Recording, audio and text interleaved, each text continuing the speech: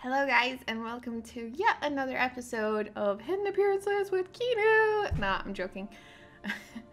Anyways, today we're gonna discuss, or I'm gonna show you how to get Guise of the Deathwalker, which unlocks the Deathwalker appearance for the Twin Blades of the Deceiver, which is basically a DPS, Demon Hunter appearance. So, let's jump right into it the only thing you need is artifact knowledge 5 and if you have that you're good to go. So originally this appearance was only intended to be obtained by killing a mob and farming it so it would drop a certain thing that would shoot you up in the air so you would be able to kill this mob but um, there is actually another way to do this so let me show you here you can uh, you can basically go to the top of a mountain in Stormheim and from here you can jump down and kill the mob. Make sure you are in DPS spec preferably because it's easier to dash through to the mob.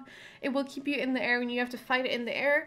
And when it dies, all you need to do is to loot it and I'm pretty sure the uh, drop rate is at 100%. So look forward to that. It's not a very hard appearance to obtain. Probably one of the easier hidden artifacts to get, but it looks really good. So I'm I'm digging this one.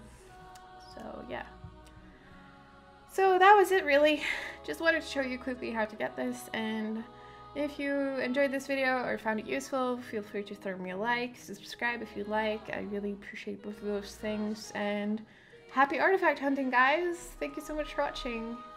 Bye bye!